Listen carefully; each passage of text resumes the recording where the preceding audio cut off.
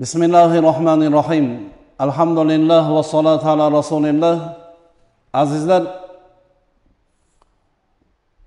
bugun solih amal haqida suhbat qilmoqchimiz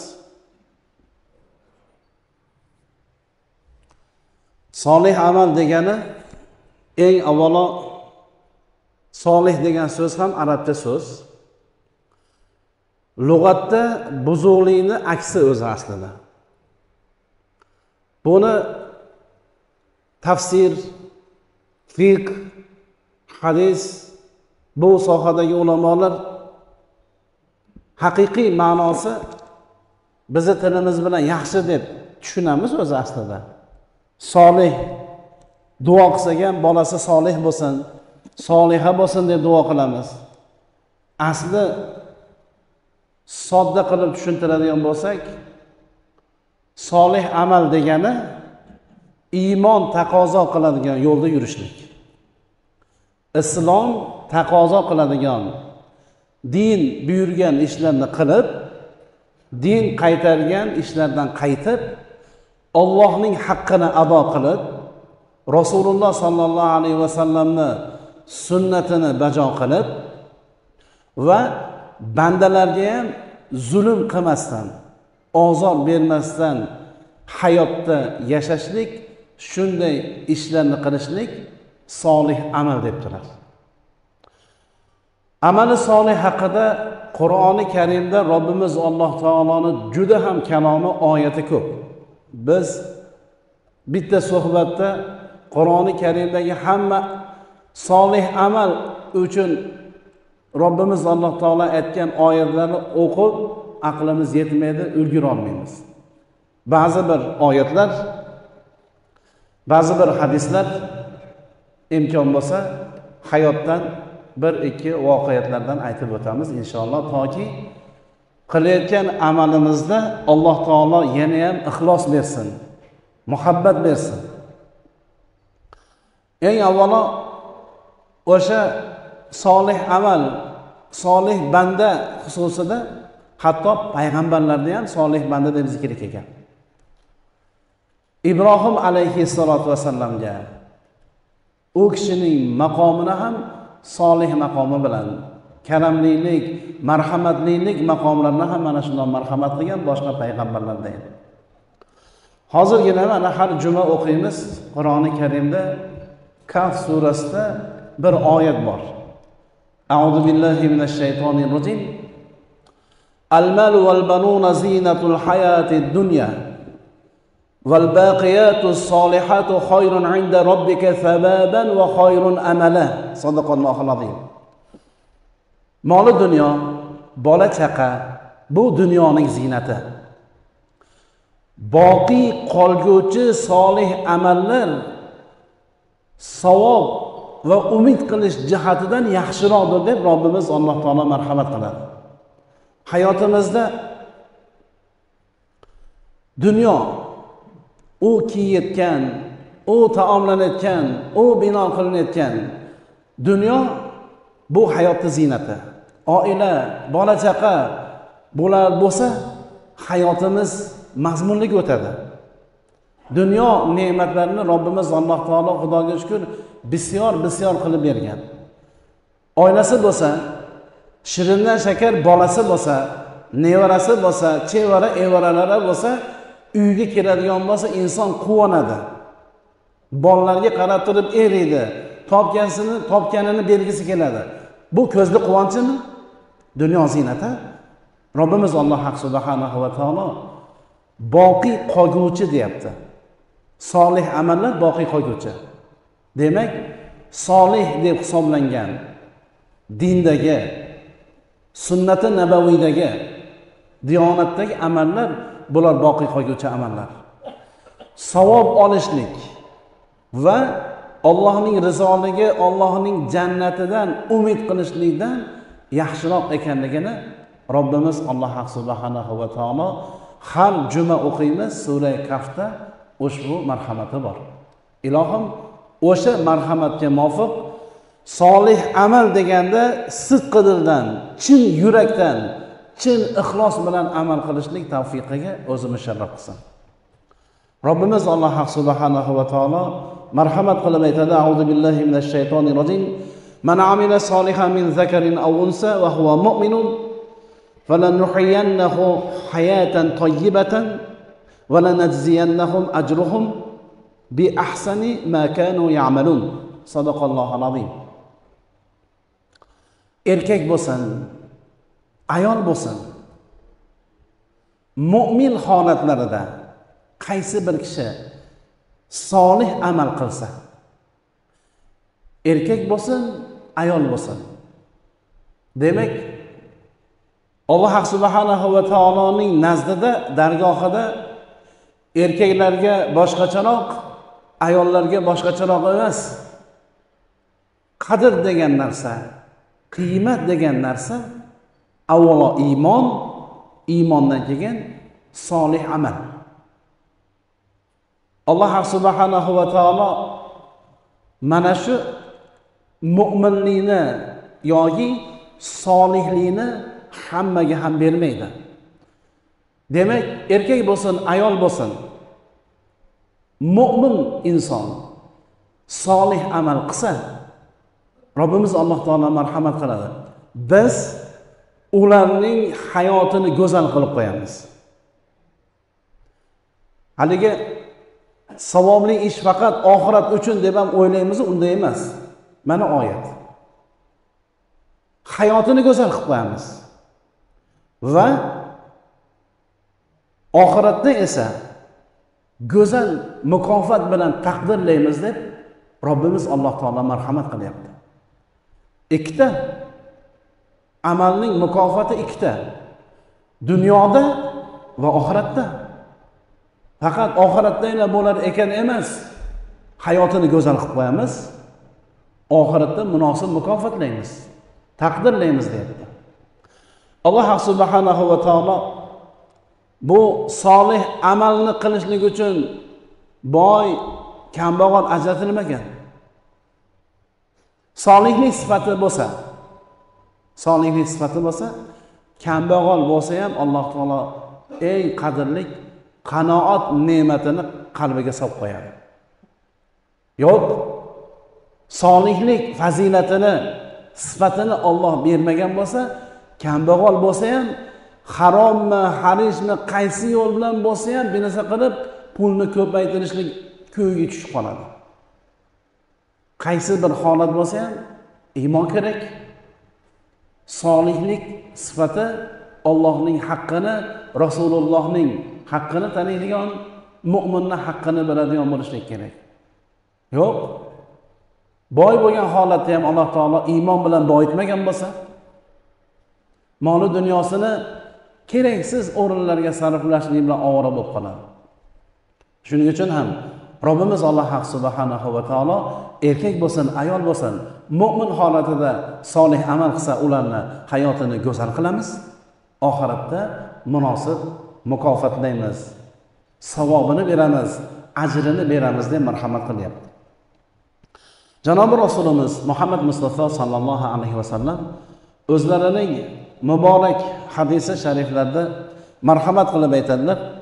قال الله تعالى أعددت للعباد الصالحين ما لا رأ ما لا عين رأت ولا أذن سمعت ولا خطر على قلب البشر demak janobi rasulimiz muhammad sollallohu alayhi vasallam ushbu muborak hadisi shariflarda marhamat qilib aytyaptilar alloh subhanahu va taolo marhamat qildi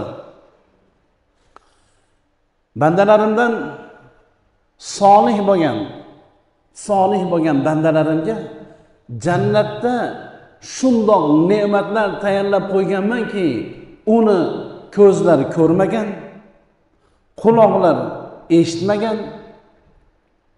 Mana shundoq inson qalbi his qilmagan ne'matlar tayyorlab qo'yilgandir deb alloh taolo aytadi deb janobi rasulimiz muhammad alayhissalom marhamat qilgan. Azizlar har qanday inson yuzma yuz keladi. Yo savobli ish bo'ladi yo gunoh ish bo'ladi. Tanlash ixtiyori o'zida.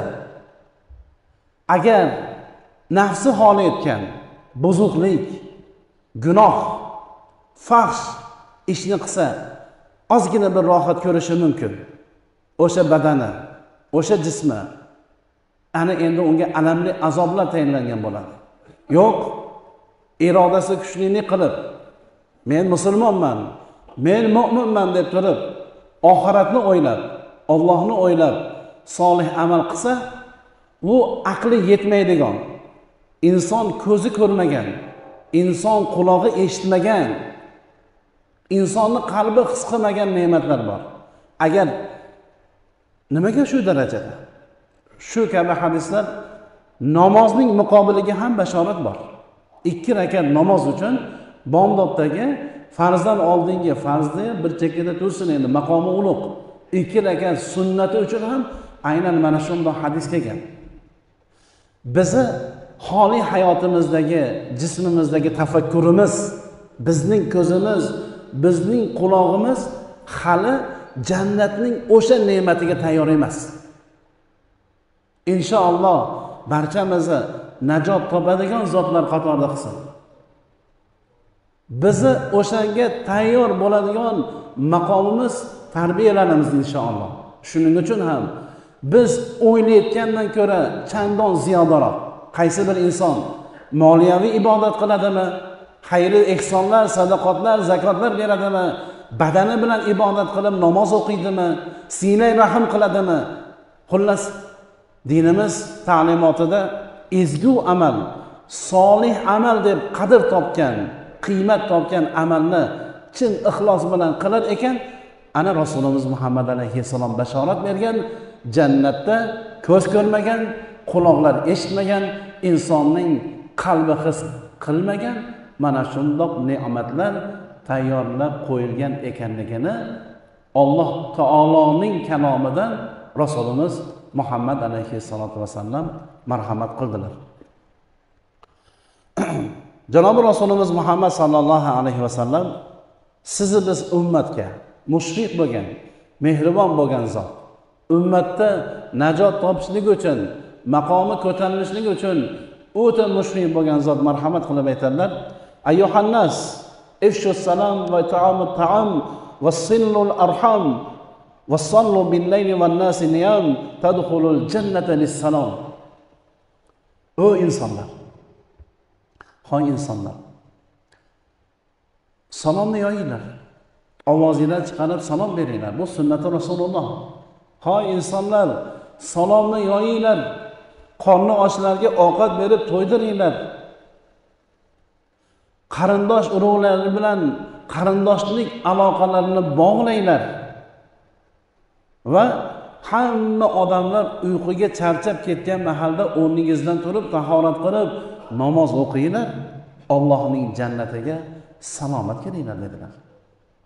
Qarang jannatga kirishlik uchun oho emas insonni qo'lidan keladigan amallar. Avvalo janobi rasulimiz alayhissalomdan bo'lgan assalomu alaykum degan sunnat qiyin narsa emas. Faqat g'ururni kesish kerak kibrni kesishlik kerak. Men musulmonman bu rasululloh muhammad alayhissalomning sunnati. Qolaversa jannatga salomat olib keladigan amal salom bilan o'rtada muhabbat paydo bo'ladi. Hasad adovat ichidagi barcha illatlar ko'tariladi. Assalomu alaykum dedi tamom o'rtada muhabbat yaqinlashaveradi shuning uchun ham rasulimiz muhammad alayhissalotu vassalam salomni ulashinglar salomni yoyinglar. Qorni ochlarga taom beringlar. Hayotda mahallada yaqinlarni orasida qorni ham to'ya olmasdan qiynalib yashayotgan oilalar bo'lsa ana shundoq insonlarga taom ulashinglar. Biz odatda ehson qilib juda katta mehmondorchiliklar qilishlikka odatlanganmiz. Alloh qabul qilsin. Yana ham xayrliroq yana ham savoblirog'i o'sha taomlarni o'zimiz bilgan ehtiyoji bor. So'rab kelolmaydi iffati kuchlik. Menga yordam beringlar ovqat beringlar deb eshigingizni taqillatmaydi iffatini saqlaydi. Ana shundoq oilalar bolalarini qorni to'ymasdan yashayotgan oilalar bor. Rasulimiz alayhissalotu vassalamning o'zlari ham hayotda qorni to'yib yashamagan o'zi aslida. Ana shundoq insonlarga taom ulashinglar qornini to'yg'azinglar va qarindoshlar. Yaqin yaqin yaqindagina jumada ham siylay haqida siylay rahm haqida suhbat qildik siylay rahmni janobi rasulimiz muhammad alayhissalom boshqa hadislarda bir necha hadislarni tanishdik. Mana bu jannatga salomat olib keladigan narsa ham siylay rahm. O'tgandir akadan ukadan tog'adan ammadan xoladan bironta bir kamchilik o'tgandir. Kechirib yuboring kechirib yuboring chunki rasulimiz alayhissalotu vassalam kechiringlar kechirilasizlar hali robbimiz alloh taoloni oldiga har qancha o'zimiz haq bo'lganimiz bilan o'zimiz bilmagan holatda qancha gunoh bilan boramiz? Ollohni mehribonligi g'ofurur rahim sifatlaridan umid qilib kechirilishligimizni umid qilsak bitta bandasini banda bo'lganda ham olloh farz qilgan siylay rahm qilishligimizni olloh buyurgan yaqinimizni kechirib olishlikka jur'at qilishlik kerak. Bir umr gina saqlab hasad saqlab adovat saqlab undoq yurishlik musulmon insonga xos emas. Janobi rasulimiz alayhissalotu vassalam sallum billayl va niyom dedilar. Odamlar uxlayotgan mahalda odamlar uxlayotgan mahalda hamma charchab uyquga ketgan mahalda alloh taologa nola qiladigan so'raydigan duo qiladigan ibodat qiladigan insonlar kam bo'ladi. Go'yoki biron bir muammoroq narsani topilishi qiyinroq narsani sotiladigan joyda hamma odam yo'q borib mahalda borib xoli olishlikni xohlaymizmi? Hammamiz umidimiz duolarimiz qabul bo'lishligi gunohlarimiz kechirilishligi ana endi robbimiz alloh taologa kamdan kam inson ibodat qilib turgan mahalda nafl ibodatlar nafl zikrlar qur'oni karim tilovatlari tavbai tazarrular bilan ana ibodat qiling ollohning jannatiga salomat keling deb hazrati rasulimiz muhammad mustafa sollallohu alayhi vasallam marhamat qildilar. Azizlar robbimiz alloh subhanahu va taolo yana bir oyati karimada marhamat qilib aytadi أعوذ بالله من الشيطان الرجيم والذين آمنوا وعملوا الصالحات وآمنوا بما نزل على محمد وهو حق من ربهم كفر عنهم سيئاتهم وأصلح بالهم صدق الله العظيم robbimiz alloh subhanahu va taolo ushbu oyati karimada shundoq bir zotlariki shundoq bir zotlar ya'ni shundoq bir musulmon insonlarki amanu iymon keltirib allohga iymon keltirishligi lozim bo'lgan iymonning shartlari farzlari o'sha narsalarga hammasiga iymon keltirib va solih amallar. Hozirgina aytganimizdek din buyurgan. Olloh buyurgan rasulullohning sunnati bo'lgan. Mana shundoq diyonatdagi ezgu deb hisoblangan amallarni qiladiganlar va alloh subhanahu va taolodan nozil qilingan haq bo'lgan muhammad alayhissalomga nozil qilingan qur'oni karimga iymon keltirgan zotlar ana shundoq bir zotlarga kelganda shuncha sifat bor.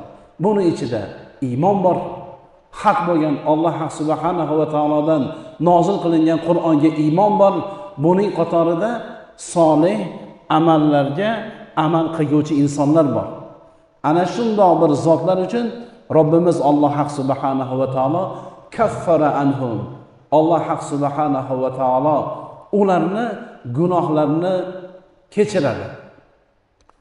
Kaffara anhum sayyiatuhum va aslaha alloh subhanahu va taolo ularni sayyoatlarini gunohlarini kechirib ularning ishlarini isloh qiladi. Ishlarini alloh taolo o'zi tuzatib qo'yadi. Qarang gunohlarni kechirib qiladigan ishlarni dunyo va oxiratdagi ishlarni kim? Olloh subhanahu va taoloning o'zi isloh qilib qo'yadi. Iymon ne'mati shunday bir qadrli ne'matki azizlar london shahriga bir musulmon inson ko'chib keladi.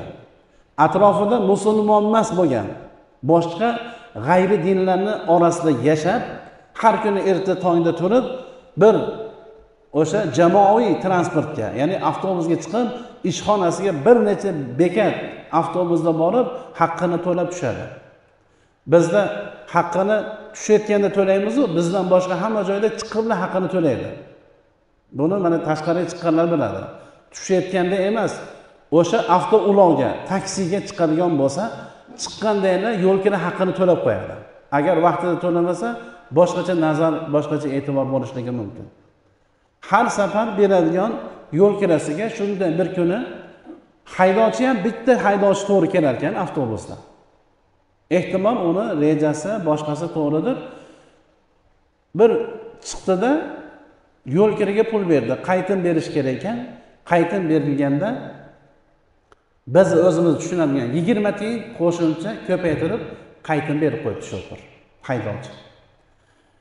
O'tirib bekatda ketayotib ishga ketayotgan shofir bergan bundoq tangalarni sanasa yigirma tiyin ko'proq. Nafsi o'ziga maslahat beryapti. Inson o'zi bilan o'zi gaplashib qoladiyu.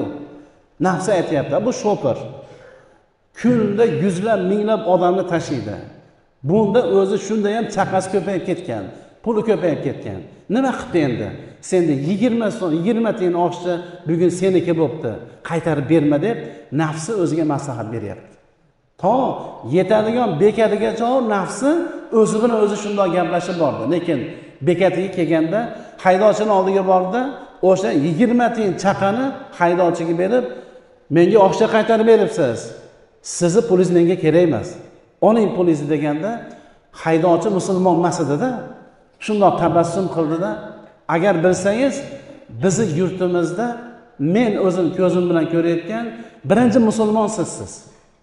Va sizni har kuni axloqingizni odobingizni avtoulovga chiqib ketib tushishingizni e'tibor berib turaman. Bugun men atayin yigirma tiyinni ko'paytirib qaytarib bergan edim. Shu bilan sinamoqchi edim. Men bularning dinini qabul qilaymi yoki qabul qilmaymi? Shuning uchun yigirma tiyin ko'paytirib beruvdim.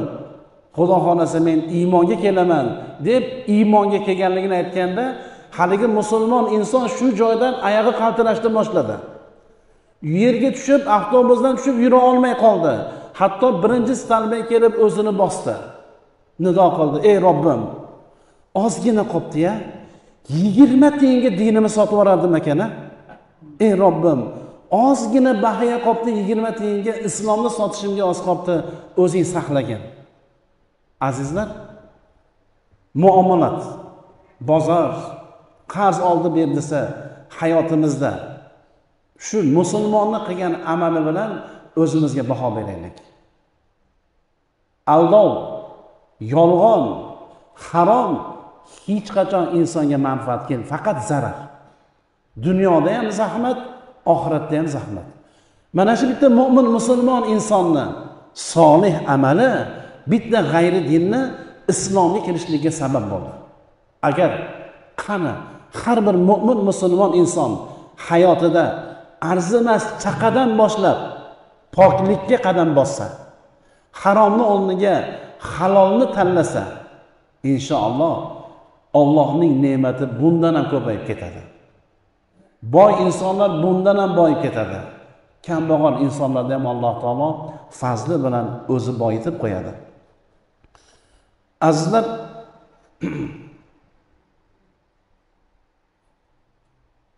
robbimiz alloh haq subhanahu va taolo biz suhbat qilayotgan o'sha ezgu amal qilguvchi insonlarni olloh o'zi yaxshi ko'radi. Agar amali solih qilmasdan yurib amali solihga o'tishligi bilan alloh taolo qalbiga muhabbatni soladi. Robbimiz alloh taolo qur'oni karimda marhamat qilib aytadi. Auzu billahi minash shaytonir rojim innallazina amanu va amilus solihati sayaj'alu lahum rahmanu vuddan sadaqallohul azim.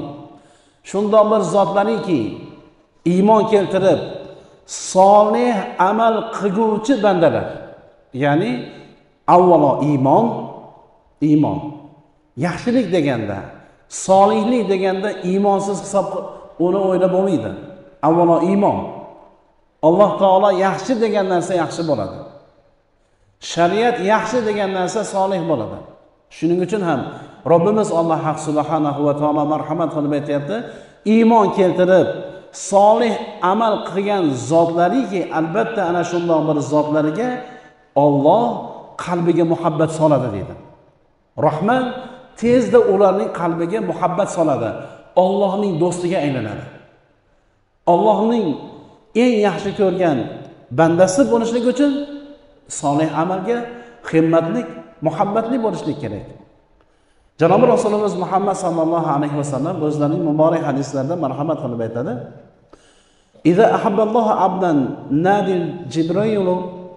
إن الله يحب فلانا فأحبه فيحبه جبرائيل فينادي جبرائيل في أهل السماء إن الله يحب فلانا فأحبوه فيحبه أهل السماء. ثم يوضع له القبول في الأرض. hazrati rasulimiz muhammad alayhissalotu vassalam aytadilar alloh subhanahu va taolo bir bandasini yaxshi ko'rib qolsa demak oyati karimadan bilamiz olloh yaxshi ko'rib qolishlik uchun bandani solih amali bo'lishi kerak. Iymoni bo'lishi kerak namozi bo'lishi kerak moli dunyoda ham to'g'riligi bo'lishi kerak savdo bo'lsin boshqa bo'lsin muomala bo'lsin firibgar bo'lmasin ko'z bo'yamachi bo'lmasin aldoqchi bo'lmasin faxsh uyat qo'pol bunaqa bo'lmasin.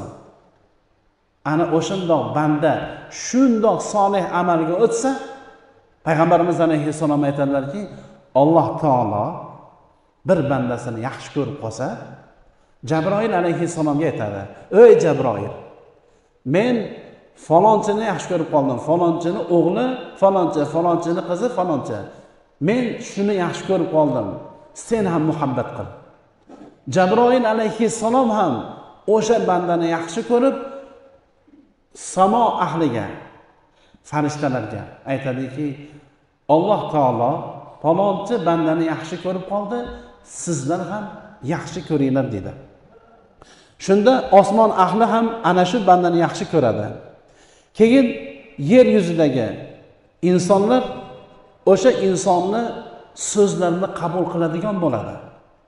Ollohni muhabbati bo'lsa ollohning farishtalarining muhabbati ana shu insonga nozil qilingan bo'lsa ana endi gapirganda hikmat bilan gapiradigan bo'lib qoladi. Chunki boshqa hadisda kelgan. Alloh subhanahu va taolo bir bandasiga yaxshilik qilishlikni iroda qiladigan bo'lsa u insonni o'zini aybini o'zi ko'radigan qilib qo'yadi. Alloh subhanahu va taolo uni dinda faqih qilib qo'yadi. Dinda faqih qilib dinning daqiq joylariga chor aqli yetadigan anglaydigan qilib qo'yadi deganlar. Janobi rasulimiz muhammad alayhissalom bilan e, toif voqeasida zayd ibn xorisani birga bo'lganligini eshitganmiz. Qancha mashaqqatlar bo'lgan islomga da'vat qilaman deb kaltaklangan toshbo'ron qilingan. Bundan bir boshqa voqea zayd ibn horisa roziyallohu anhu bir toifga borgan ekanlar. Toifga borganda o'sha manzildan bir manzilga qadar bir kirachi inson bilan shartlashdi. Bugungi kunda kiralar u ko'chadagi judayam bir zamonaviy ichida sovutgichi bor avtoulovlar bo'lsa u mahalda yo tuya bo'lgan yo eshak bo'lgan. Bu odam hachir ekan. Hachirda kelishdi. Ma'lum bir qiymatga kelishdi manzilga olib borib qo'yadi. O'sha kirachi bitta shart qo'ydi. Mayli olib borib qo'yaman lekin xohlagan yerini seni tushirib ketaman dedi. Zayd ibn horisa roziyallohu anhu rozi bo'ldi. Hachiriga mingashib ketayotganda bir yerda bir harobaga kirdi. Harobaga kirib to'xtadi tush dedi. Qarasa atrofi o'liklarga to'lib yotibdi ekan u kirachi qiyofasidagi bir firibgar qotil shunaqangi bir qaroqchi odam ekan. Odamlarni manzilga olib borib qo'yaman deydida o'sha hachiriga mindirib olib o'sha harobiga borib o'ldirib hamma cho'ntagidagi hamyonidagi pullarni olib shunday qilib tirikchilik qiladigan odam ekan. Bugungi zamonda ham shunga o'xshash voqealarni gohi gohida eshitib turamiz. Zayd ibn horisa roziyallohu anhu holati tushundi. Ho'p dedi mayli endi shunday bo'libdi faqat ruxsat bersang ikki rakat namoz o'qib olay dedi. Bemalol o'qi. Sen ko'rib turgan hamma o'liklar ham ikki rakat namoz o'qigan. Ularni o'qigan namozi ularni o'limdan saqlab qolgan. O'qib olaver dedi. Zayd ibn horisa ikki rakat namoz o'qidi. Ikki rakat namoz o'qilib salom berib forig' bo'luvdi. Haligi fosiq haligi qotil zayd ibn horisani o'ldirishlik uchun yaqinlashayotganda ya arhamar rohimin dedi. Iltijo qildi alloh taologa. Ey mehribonlarning mehribonrog'i deb alloh taologa iltijo qiladi bir ovoz keldi. Uni o'ldirma tek qo'y degan ovoz keldi. Qotil qo'rqib ketdida harobani atrofini aylanib keldi. Bironta odamni topa olmadi. Keyin yana hamma qilmoqchi bo'lganida ya arhamar rohimin deb chin ixlos bilan ollohdan so'radi. Bu endi bu kishini maqomi ulug' qur'onda zikr kelgan zot. Yana ovoz keldi. Yana ketdi atrofni qaradi hech bir zotni topa olmadi. Uchinchi marta o'ldiraman deb yaqinlashganda ya arhamar rohimin deganda bir basavlat otga mingan mana shundoq bir zot ko'rinib qo'lida bir nayzasi bilan o'sha nayzasini otganida haligi qotil o'zi bu otliq insonni ko'rganda qatib qolgan edi. Uning nayzasidan vafot etdi. Otliq inson. Zayd ibn horisani oldiga keldi. Ey zayd dedi. Birinchi marta nido qilganingda men yetti osmonning tepasida edim. Ikkinchi marta chaqirganingda nido qilganingda dunyo osmonining birinchi osmoniga tushdim. Uchinchi marta ya arhamar rohimin deganingda mana huzuringdaman ya'ni olloh haq subhanahu va taolo solih insonni solih amallari sababidan mushkulotlardan mana shundoq bir yechim qilishligi voqeasi sahobiy ikromlardan bizlarga ibrat. Vaholanki alloh haq subhanahu va taolo har qanday narsaga qodir zot. Robbimiz alloh haq subhanahu va taoloni solih bandalardan bo'lishlikka alloh taoloni o'zi tavfiq bersin. Robbimiz alloh haq subhanahu va taolo qur'oni karimning bir oyatida marhamat qiladi. Auzu billahi minash shaytonir rojim. ومن أحسن قولا ممن دعا إلى الله وعمل صالحا وقال إنني من المسلمين robbimiz alloh subhanahu va taolo marhamat qiladi ollohni yo'liga chaqiruvchi va solih amal qiluvchi insonlar dinga chaqiradi ollohning diniga chaqiradi amri ma'ruf qiladi Nahiy anil munkar qiladi. Va men musulmonlardanman deydi. Shundan ham go'zalroq so'z bormi deydi. Robbimiz alloh taolo. Demak azizlar solih amal solih amalni qilib insonlarni bu ish harom qilmagin mana bu ezgu ishni qilgin deb targ'ib qiluvchi insonlar. Men musulmonman deyishligi. E biz musulmonmiz. Sen ham musulmonsan desa shundan ham go'zalroq so'z bormi deb robbimiz alloh taolo marhamat qilyapti. Demakki bu amallarda sobit qadam turaylik. Azizlar saudiya mamlakatida bir boy inson vafot etdi. Boy inson vafot etuvdi judayam boyligi ko'p edi. Vafotida qarasa merosxo'rlar yo'q. Merosni taqsim qildi desa bolalari yo'q. Hali dafn qilishlikdan oldin surishtirishdi. Bu boylik katta ekan. Kimi bor ekan desa o'sha amakivachchaga o'xshagan bir uchta meros olishlikka qarindoshlardan topib kelindi. Uchta yigit olib kelindi. Bu insonni taniysizlarmi? Ha bilar edik. Aloqanglar bormi? Yo'q aloqamiz yo'q edi aloqamiz uzilib ketgandi. Mayli nima bo'lgan taqdirda ham bu inson vafot etdi. Endi mana dafn qilishlik sizlarga. Lekin bu odamdan katta boylik qoldi. Hozir uchalangizga bir million realdan beramiz. Bu odamni ko'chma mulklardan tashqari u binolari bog'i rog'lari ulovlari boshqalardan tashqari naqd pulidan bir milliondan uch million pul qolgan uch million realni bir milliondan sizlarga beramiz. Shuncha boylikka mana yo'qdan ega bo'lyapsizlar. Sizlarga bitta maslahatimiz bor. Bu odam mana shuncha pulni qoldiribdiyu hech narsa ketmayapti o'zi bilan. Pul ham sizlarga qolyapti. O'sha yuz milliondan uch yuz million bo'lsa har biringlar bir milliondan pul ajratinglar bitta masjid bino bo'ladi. Shu vafot etgan qarindoshinglar uchun bundan ko'ra xayrliroq amalinglar yo'q. Taklifimiz shu bir milliondan ajratinglar bitta masjid quramiz desa uchta merosxo'r o'ylamagan. Bir million realdan pul olib boy bo'lib qoldi. Shundan ikkitasi berishlikka rozi bo'lmadi. Bittasi rozi bo'ldi. Azizlar dunyo shunaqa narsa. Dunyo shunaqa narsaki dunyoni borida solih amallarni ezgu ishlarni qilib qolish kerak. O'zi uchun oilasi uchun qavmi qarindoshi uchun boshqa insonlar muhtoj insonlar uchun. Qolaversa mana masjidimiz uchun ham boshlagan ishlarimiz bor. Ibrat bo'lsin. Ko'zimizni ochaylik. Boshqa amallar mana o'sha qiynalganlar kasallar bemorlar hammasi ham o'rnar mana bu yer ollohni uyi. Shu ishlarimizda va boshqa xayrlik amallarda ham mana bu hayotiy voqealar bizni ko'zimizni ochish kerak. Ibrat bo'lishlik kerak. Agar bu amallarni biz bahosini ayta olmaymiz chunki janobi rasulimiz muhammad alayhissalomdan hozirgina bir hadis eshitdik.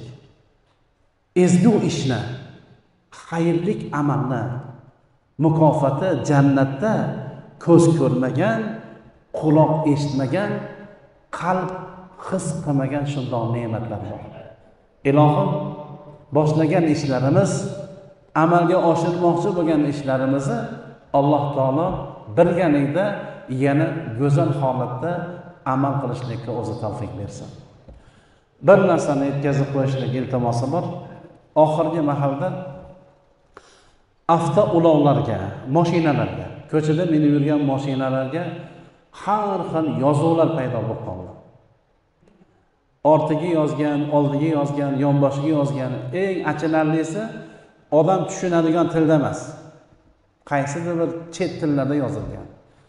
Ularni mutaxassislar aqli yetganlar o'qib bersa ba'zi birlari fahsh gaplar ham bor ekan. Ba'zi birlarda dinimizga otilgan toshlar ham bor ekan. Bularni jumlasida kiyib yurgan ko'ylaklarda erkaklarda ayollarda bolalarda qizlarda ham shunaqa narsalar paydo bo'lib qoldi. Shu narsa durust emas. Shu narsa durust emas. Hatto mana shu shariatimiz zikri bilan bo'lsa ham durust emas ekan. Chunki payg'ambarimiz alayhissalotu vassalam uzuk tutganlar uzugi muhammadu rasululloh degan yozuv bo'lgan bu muhri bo'lgan bu muhr bilan hojatxonaga kirmagan ba'zi bir narsalarni mana e, zikr bo'lgan narsalarni ham aytaylik moshinasiga yozib oldi yoki ko'ylagiga yozib oldi. Bu bilan qadrini ko'tarmaymiz qadrini pastlatamiz u qarayotgan nazar ehtimol junub odamdir yuvinmagan odamdir.